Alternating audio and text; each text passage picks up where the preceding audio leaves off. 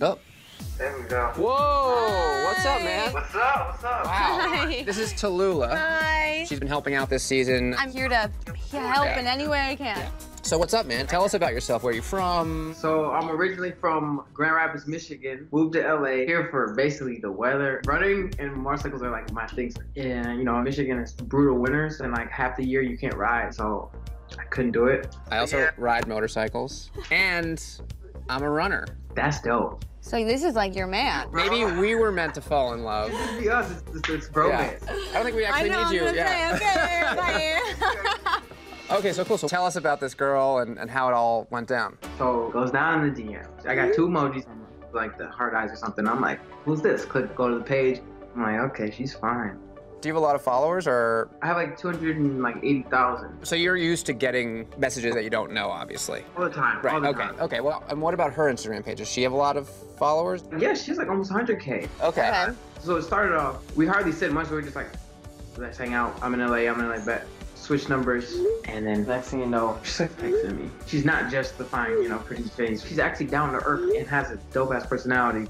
I try to hang out right away. I'm like, you're in LA. Like, hey, are you free tonight? This Yeah. night. And, you know, I was like, oh, I'm busy. I'm like, all right, that's fine. Have you spoken on the phone? No, I've never heard her voice. And dude, every time I've tried to FaceTime, she won't respond for like 24 hours. And then she'll be like, oh, sorry, I was busy. Then I'll ask again, and she'll be like, oh, my front camera's broken. Wait a second. Hold on. This is a girl who has an Instagram where she probably posts a lot of selfies. That's exactly so. I all mean- her story is her like. Right. You She's know, always posting ass. stories. Right. I'm like, okay. Yeah.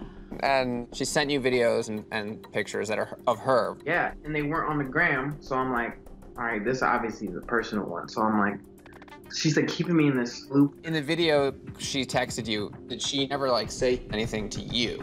No. Like, And not your name? Sexy shit. Have you sent her any sexy stuff? I ain't saying nothing because I was like, she could be playing some weird joke on me. One time she was like, "Would you be down for a threesome?" Unprompted. Specifically Yeah. a threesome or specifically a threesome with your roommate? She hit me up and was like, "Are you down for a threesome?" I said, "Depends with who." She said, "What about that roommate of yours, the Asian one?" And I was like, "Oh yeah, that's my boy." Wow.